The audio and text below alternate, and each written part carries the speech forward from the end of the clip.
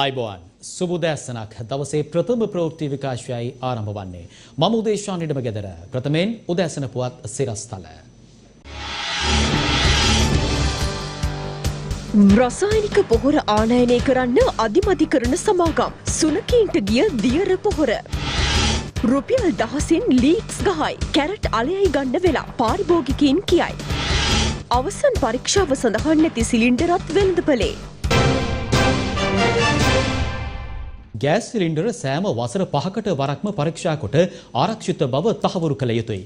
එසේ පරීක්ෂා කළ දිනය සිලින්ඩරයේසේම උඩ ඇති තඹ පැහැති කොටසේද සඳහන් කිරීම අනිවාර්යයි. නමුත් අප කළ සොයා බැලීමකදී එසේ නොමැති සිලින්ඩර් ඇති බවටද අපිට හඳුනා ගැනීමට හැකි වුණා. ඒ කියන්නේ මේ සමාගම් ගෑස් සිලින්ඩරවල ආරක්ෂිත බව අඩුම ගානේ වසර 5කට සැරයක්වත් සොයා බලන්නේ නැහැ කියන එකද? රටපුරාම ගෑෂ් ආශිත පිපිරීම් වාර්තා වුණා. වාර්තා වෙමින් තිබෙනවා. මේ පිපිරීම නිසා මරණ තුවාල සහ දේපල හානිත් සිදු වුණා. සිදු වෙමින්ද පවතිනවා.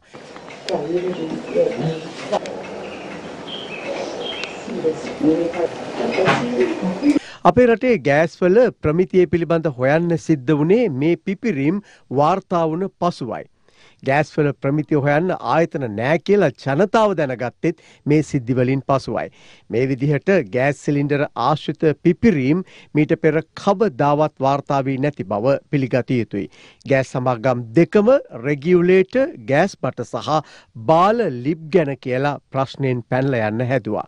නමුත් මේ ගෑස් ආශ්‍රිත පිපිරීම් වලට හේතුව එක්කෝ ගෑස් සංයුතිය වෙනස් කිරීම නැතහොත් ගෑස්වල ප්‍රමිතිය බව අප නිරන්තරයෙන්ම වාර්තා කළා. රාජ්‍යමති ලසන්ත අලගියවන්න මහතාත් ඒ මතයම දැරුවා.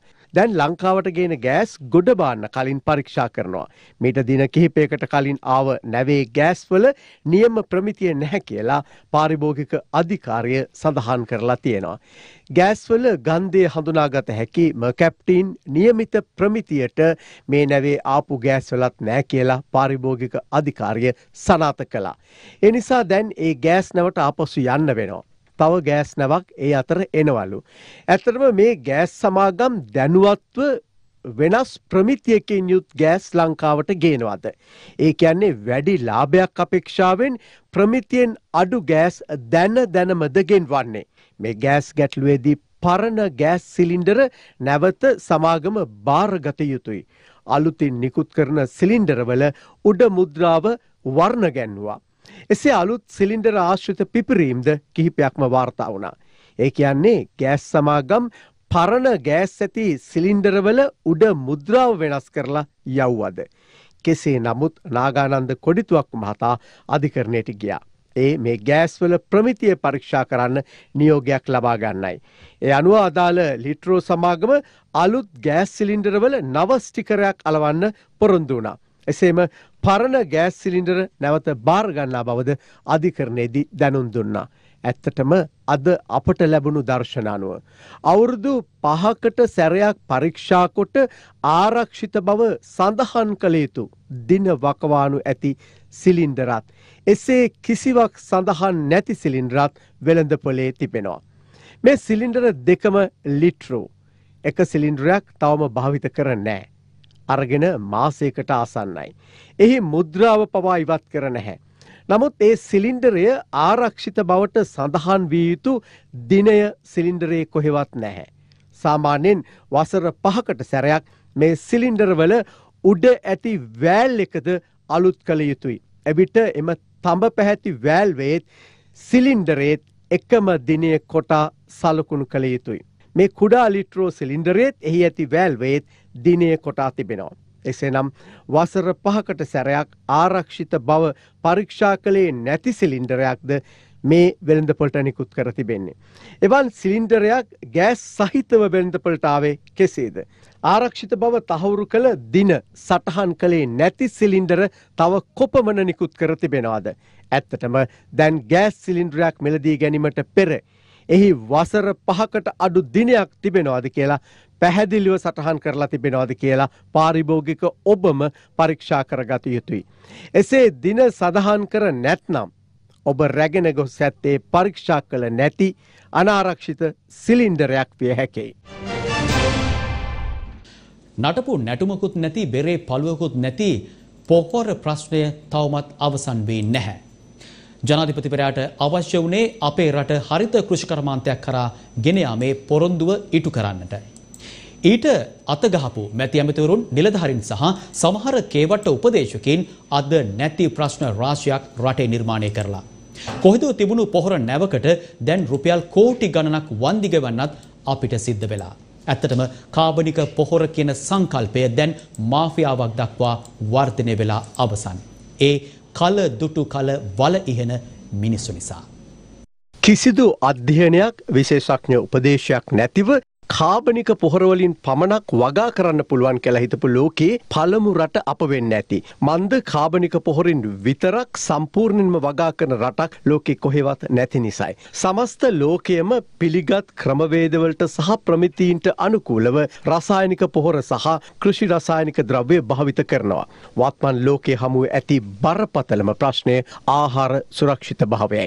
විශේෂයෙන් කොවිඩ් වසංගතයත් එක්ක බොහෝ රටවල කෘෂි නිෂ්පාදන බිඳ වැටී තිබෙනවා. කිසිදු කාබනික පොහොර සැලස්මක් නැතිවයි අපි මේ කාර්යට අතගැසුවේ. අඩුම ගානේ හැම ශාකයකටම එකම ජාතිය කාබනික පොහොර දාන්න බෑ කියලවත් කල්පනා කළේ නෑ. ඒ නිසා අන්තිමට කාබනික පොහොරත් පිට රටින් ගේන්න වුණා. ඕනම දෙයක් ආනායනය කරන්න කැමති රටක් අපි. මොකද ඒ ආනායනය කරන හැම ලීටරයකින්ම කිලෝවකින්ම කොමිස් ගහන්න පුළුවන් නිසා.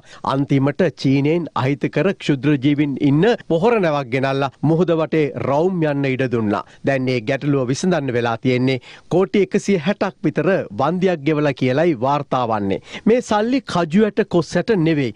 මේ ජාතියේ තීන්දු තීරණ ගත්ත සියලු දෙනාම හෙළිදරව් කිරීම සහ දඩුවම් දීම ජාතික අවශ්‍යතාවයක්. මෙවන් වන්දියක් රටේ සල්ලිවලින් ගෙවන්න වෙනවනං එය ජාතියේම අවාසනාවක්. අන්තිමට ඉන්දියාවෙන් ගෙනාපු නැනෝ පොහොරත් වැස්සට දේ වෙලා ගියා.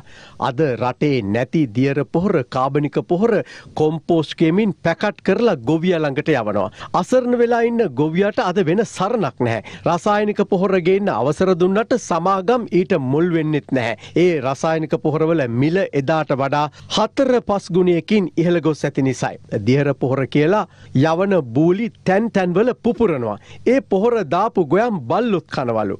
මේ සියල්ලේ අවසන් ප්‍රතිඵලය අපේ රටේ කෘෂිකාර්මික අස්වැන්න අඩුවීම. ඒ කියන්නේ තව මාස කිහිපයකින් අපේ රටේ ආහාර අර්බුදයක් ඇතිවේවිද.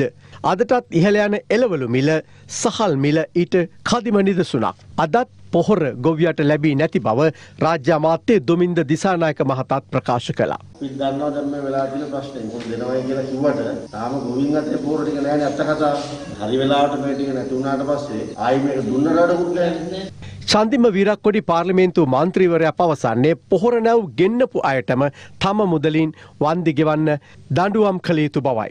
කුණු ජරා රටට විනාශකාරී ඒවගේම ලෝකයත් එක්ක අන්තර්ජාතික ප්‍රශ්න ඇති කරන ආකාරයේ තීන්දුව අරගෙන ඕරගෙනල්ලා සල්ලි නැති රටේ තවත් හිඟමනට දාන්න. අති ඩොල් මිලියන 6.7ක් මේ වෙලාවේ ගෙවන්න හදනවා කියන එක මං හිතන්නේ හිඟන්නගේ පාත්‍රයට හෙනහුරා කැබිනට් එකෙන් වැස්සෙව්ව වගේ වැඩක්. හිටපු පාර්ලිමේන්තු මන්ත්‍රී විජිත් විජයමුනි සොයිසාද අද පොහොර පිළිබඳව කතා කළා. මහින්දානන්ද. ආ මගේ මිතුරා. ඕ නැනෝ ගෙනාවනේ. කුණු ගඳේ බැදන් කුඹුර ඌර ඌර කනවා. අලි අලින්ගෙන් මේගොල්ලන්ගේ දැන් කුඹුර ඌර ඌරොත් කනවා. බල්ලොත් කනවා. ඇත්තටම මහින්දානන්ද අසරණයි. සාමාන්‍ය සමහරු ඉන්නවනේ කට්ටක් දැම්මම ඕක ලෙව කකා ඉන්න කට්ටිය ඒ ඒ ගණේට වැටලා තියෙන්නේ පව්. කවුරු කොහොම මොනවා කිව්වත් මේ තමයි අන්තිමට රට පුරාම ගොවියන්ගෙන් ඇහෙන කතා. දැන් මහත්තයා බලන්න අර ඉන්නේ බල්ලෝ. බල්ලන්ගෙන් බේරන්න බෑ බල්ලෝ මෙයා යනවා. ගෙදරට අරන් තියාගෙන ඉන්න බෑ ගෙදර ඉන්නවා බල්ලෝ. උන් ඒවා පස්සේ මෙයා යනවා. ගෙවල් වල ඉන්න බෑ නිලමැස්සු. ඕව අපි කොහොමද වගාවට යොදන්නේ? මේ ගොයමට ගහපු ගමන් මේ අනිවාර්යෙන් අර ගොඩ බෝගෙට ගැව්වා කියන්නේ ඒ වගේ වටේ බල්ලෝ කරගෙනවා කියන්නේ අනිවාර්යෙන් මේ ගොයමට ගහපුවම මේකෙත් අනිවාර්යෙන් බල්ලෝ ලගිනවා. ලස්සනට කුරායක් හදලා පාට කරලා හැඩ කරලා කම්පැනි නාමයට අපි ගෙනාපු මේ පොහොර අපිට මොනවද තියෙන්නේ 10 යාලු තියෙන්නේ මිනිස්සු රවට්ටන්න එපා ඉහළ යන පාරිභෝගික භාණ්ඩ මිල හමුවේ ජනතාවගේ දුක කාට කියන්නද කියන එක බරපතල ප්‍රශ්නයක්. අද තත්ත්වය මෙහෙම නම් හෙට අනිත්ත වෙනකොට මිල ගණන් ජනතාවට දරා ගන්නම බැරි වේවි. පාරිභෝගික භාණ්ඩවල මිල කිසිදු පාලනයකින් තොර තැනකට ඇවිත් දිනපතා ඉහළ යන පාරිභෝගික භාණ්ඩ මිල පිළිබඳ ජනතාව පවසන වේදනාවේ කතාවයි මේ. එලවලු ගන්නව. එලවලු නෑ. ගණන් ගිනි ගන්න මොකද කරන්නේ? මේ එකයි ගත්තේ. පස් දෙනෙක් ඉන්නවා ගෙදර. මේ බෝංචි ටික. පස් දෙනෙකුට ඔය කරන්න දෙයක් නෑ මොකද කරන්නේ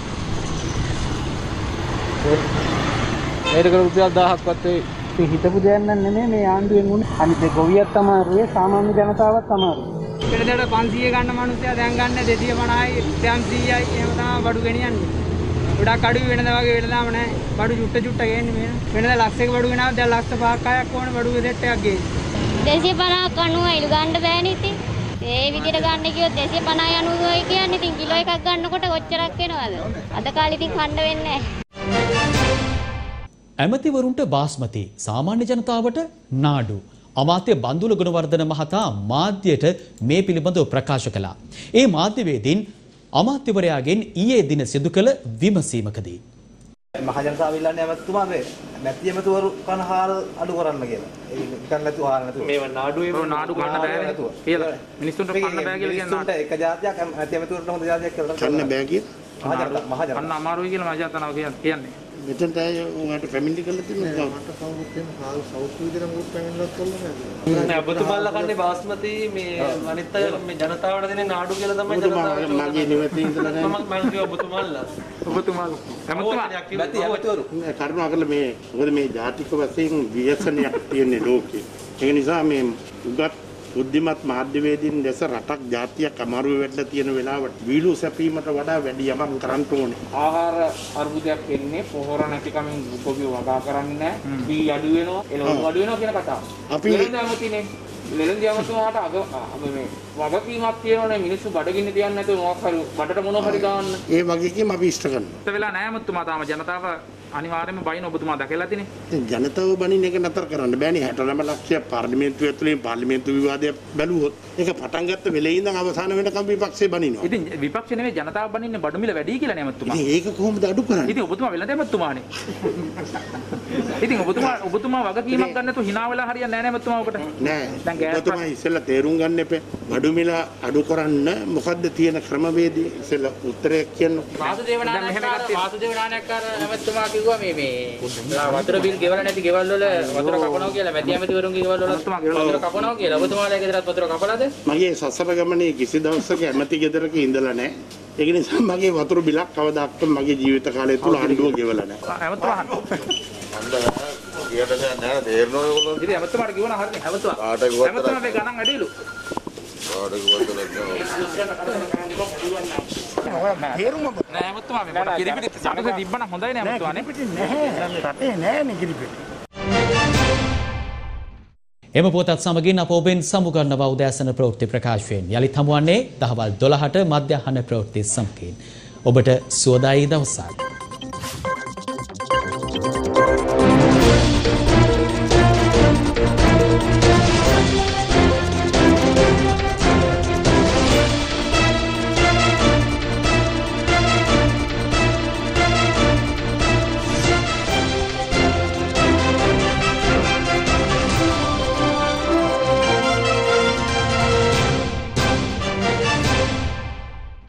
දිනපතා අලුත් වීඩියෝ සහ ප්‍රවෘත්ති නැරඹීමට ඉහත බටන එක ක්ලික් කර සියත TV සබස්ක්‍රයිබ් කරන්න.